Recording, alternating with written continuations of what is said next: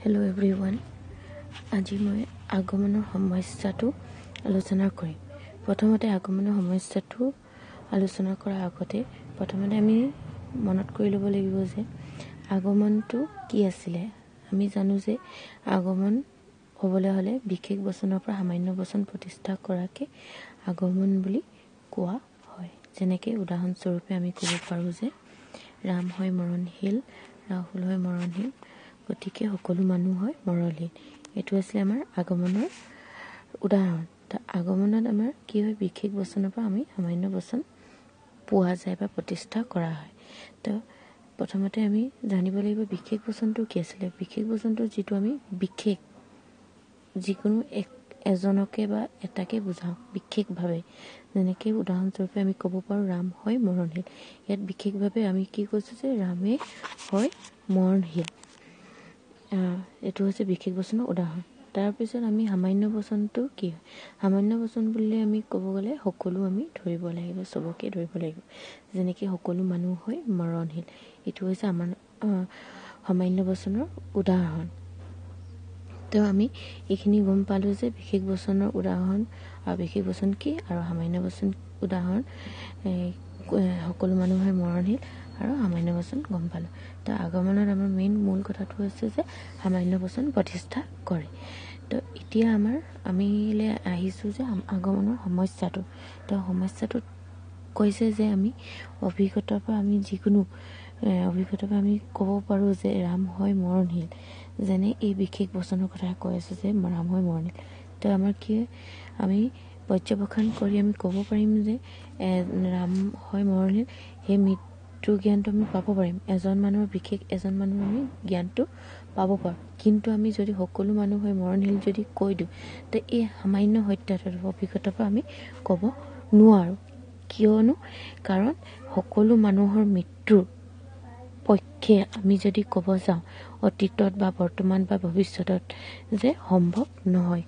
কাৰণ সকলো মানুহ একেটা টাইমত নমৰে বা অতীতত কেতিয়াও নমৰে বা বৰ্তমানতো নমৰে বা ভৱিষ্যততো নমৰে। আমি সেই সকলো ক'ব বিশেষ এজনক ক'ব পাৰিম কিন্তু সকলো বুলি আমি কৈ দিলে নহ'ব। তা আমাৰ আগমনৰ সমস্যাটো হৈছে যে সেই বিশেষ ক'ব যে সামান্য কৈ দিলোঁ সামান্য বচন যে প্ৰতিষ্ঠা কৰিলোঁ বিশেষ বচনৰ পৰা মানে পৰ্যবেক্ষণ কৰি তে সেইটোৱে হৈছে আমাৰ সেই সামান্য বচন কোৱাটো। বিশেষ বা সামান্য যে ক'লোঁ সেইটোৱে হৈছে আগমনৰ সমস্যাটো। আগমনৰ সমস্যাটো।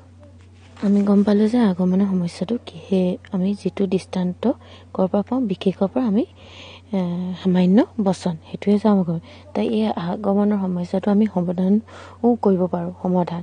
তাৰ সমাধানৰ বাবে দুটা নীতি নিয়ম দি আছে। প্ৰথমতে আমি প্ৰথম নিয়মটো আমি মানিবলৈ লাগিব যে প্ৰকৃতি একোপেটা বৃত্তি আৰু দুই নম্বৰ নিয়মটো আমি মানিব লাগিব কাৰ্যকাৰণ বৃত্তি।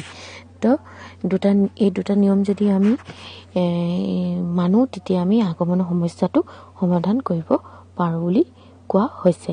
তো আমি প্ৰকৃতি একৰূপতা বুলি ক'ব গ'লে আমি কি হয় প্ৰকৃতি একৰূপতাটো প্ৰকৃতিত মানে একে আচৰণত চলে বুলি কৈছে প্ৰতিস্থিতি আৰু কাৰ্যকাৰণটো হৈছে যে আমি কিবা এটাৰ কাৰ্যটো আমি কাৰণটো পোৱাকৈ আমি কাৰ্যকাৰণ বুলি ক'ব পাৰোঁ মানে কাৰণ আৰু কাৰ্য দুটাই থাকে।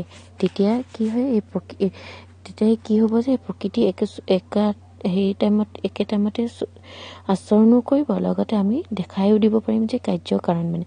কাৰ্যটো দেখাই লগতে আমি তাৰ কাৰণটো আমি যদি দেখাই দিব পাৰোঁ তেতিয়া আমি এই আগমনৰ সমস্যাটো আমি সমাধান কৰিব পাৰিম।